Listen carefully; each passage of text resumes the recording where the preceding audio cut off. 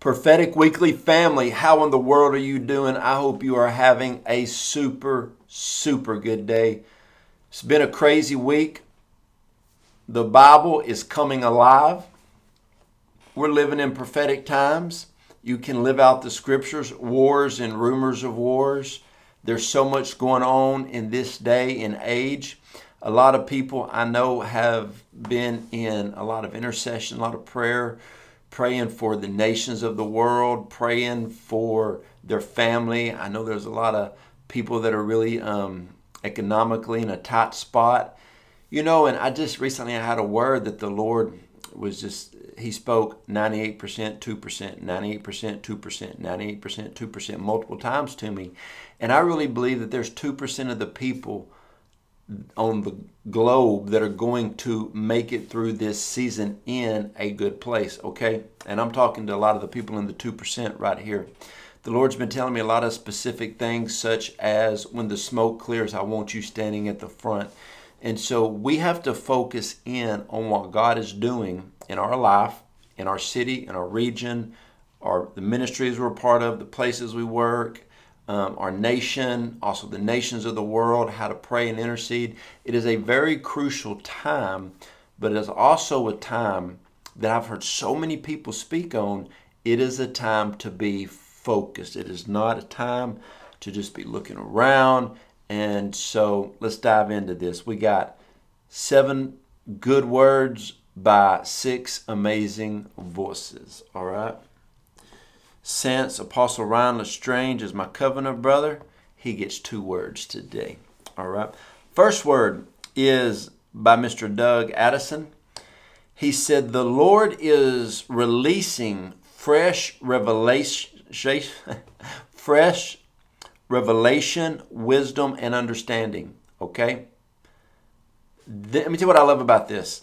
The past three weeks, the Lord has put so much in my heart for wisdom, knowledge, understanding, and revelation. When you can receive a revelation from the Lord, sometimes you got to watch those double and trifocals. They'll make you mess up when you're reading. I got to put on some other glasses. So think about this. God is releasing fresh revelation. Why would He release fresh revelation? Because somebody's going to grab a hold of the revelation and do something with it. He's releasing fresh wisdom. Why is He releasing that? So somebody can grab a hold of the wisdom and do something with it. You'll grab the wisdom that somebody else needs and understanding. Fresh understanding there's about to be a whole lot of aha moments. Oh, I get it. I got that. That's what the Lord is doing. Mr. Doug Addison, phenomenal, phenomenal word. Now we're going to stay with some strong prophetic stuff. I'm going to tell you about this word. When I saw this word, I, I literally had to get up and walk around. I literally had to get up and walk around. This word is so good. I'm to get a drink of coffee on it, okay? Not all words are that good. It's by Shawn Bolz. He said, I heard God say, I am putting people exactly where I need them. Two Sundays ago, as I was preaching, I felt the Lord give me this word right here as well. I said, I said, God is strategically putting people right where he needs them, where he wants them. And then I said, it may not be where you want to be. And, and some of our congregation went, but it's where you know you're supposed to be. Okay? I'm telling you, the Lord is putting people exactly where He needs them. When you are at the right place, at the right time, doing the right thing, you will flourish. The other the other day I was praying for Israel. I just got in a place in prayer and it was like deep intercession. That right there was a divine moment that I mean I just felt that in that moment I was in the right place at the right time praying for the right thing. There was a, a time recently that my wife and I were with our three kids and our Cavapoo dog Lou, and we, we were just having family time. We weren't doing anything special, we were having family time. Man, there was such an anointing on just us being there as a family unit. There's times that I've recently I went and preached places that, you know, I you know felt the Lord say go, and in the middle of me preaching, I felt I was at the right place at the right time, preaching to the right congregation. Okay, it's just a it's just a good season. I've talked to some people um, in the past three or four days that were in our mentoring group or in our apostolic network um, or in our church, and they just are so excited because they know they're at the right place, doing the right thing at the right time. All right, next word. This will be the first word by Apostle Ryan LeStrange. The word I've been hearing loud and clear for many of you is perseverance. Come on now. Perseverance. Cling to God's promise despite all opposition. That promise is yours. Faith stands firm with God, never backing down. Together, we're breaking through. Let's move forward. That's it. Perseverance. Keep pushing keep you know I, two things i like to tell people keep moving forward and advance keep moving forward and advance. You have the holy ghost. You have the power to stand firm perseverance move forward advance. This is your time. Now this next word is a pretty lengthy word from Nate Johnston. He said the tables are turning. Has it felt like the, the tides have been against you lately? That it has seemed like every part of your life is under siege, under fire? Has he been trying to read my mail or what? Has it seemed that every part of your life is under siege, under fire, in the state of contention when you are trying to move forward? Does it feel like every door that should be opening is delayed? There's not a. It feels like there's a thousand men holding it shut. Does it seem like your mind and heart is the target of a million fiery arrows from the enemy trying to take you down? Are we talking to anybody today? Are we talking to anybody? Now you, you know how, how we roll here. If one of these words minister to you, just in the comments, write the person's name down. A lot of times they'll go back and read it, and man, it just encourages them to know that the word of the Lord that God gave them is is ministering to other people, not just on their page, but on in other sources. He said, "In the last four days, I felt such a burden of the Lord to pray over these very specific places um, in people's lives. So I want to bring encouragement today for those facing opposition in transition. Anybody in transition, I'm telling you, the devil don't want you to transition. That's why he's fighting you so hard. So if this, oh, wait, hang on, time out." Time out. Transition doesn't mean from one city to the next. Sometimes it does. Sometimes, like wherever you're living, and some of y'all gonna move to Texarkana, be a part of Roar Church, Texarkana. That's transition, okay?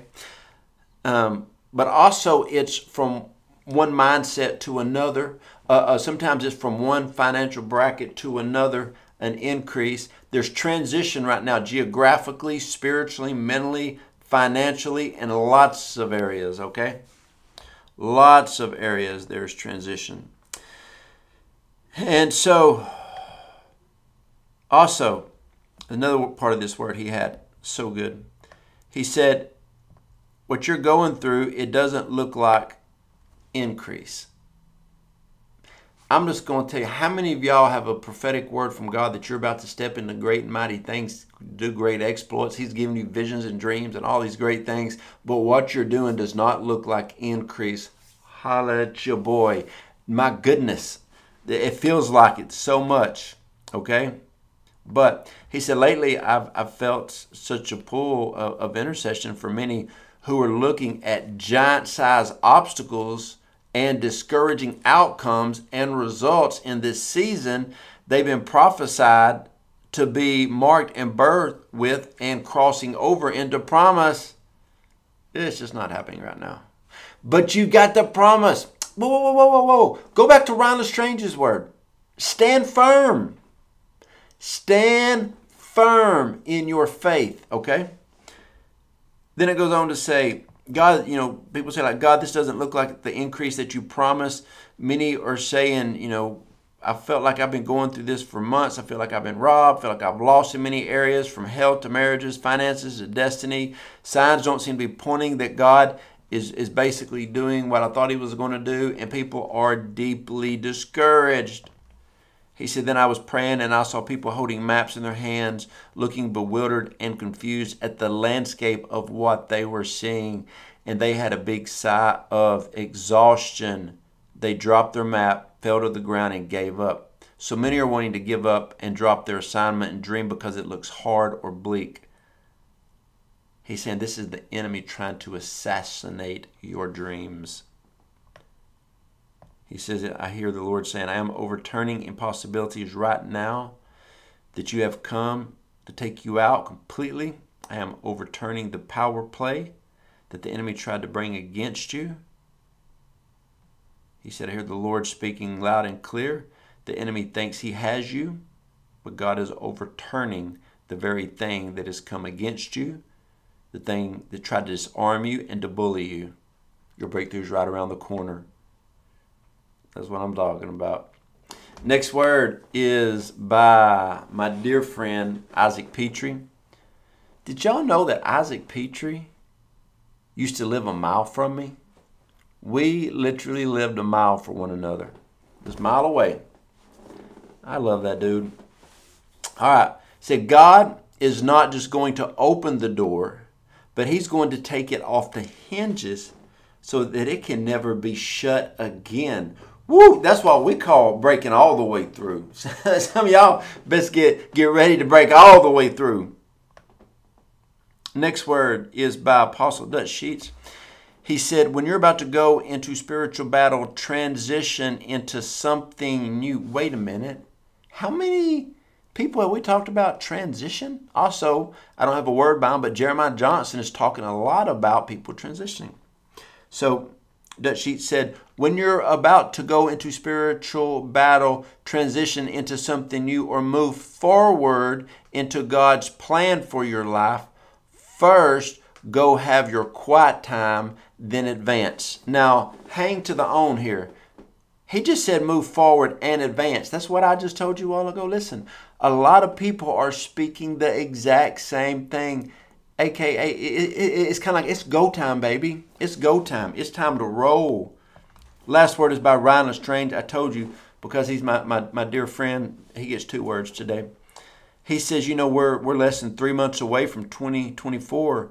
Be extremely intentional about your prayers, your focus, and your direction. Don't let anyone waste your time that is by the apostle Ryan LeStrange.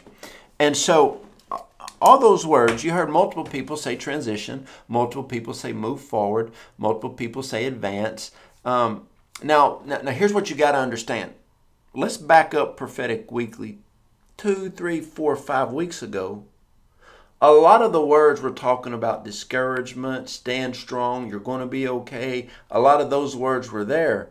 But now, as time goes on, you're seeing a shift in the words. The words you're getting into move forward and advance. Things are shifting, things are changing. 5780 for the year of the open door, the double door. You're going to go in the door. There's going to be opposition, but you're okay. Keep moving forward and advance. We are in for a very good season, okay? I didn't say easy season, but we're in for a good season, all right? Love you guys. Hope this helped and hope you have a super blessed day.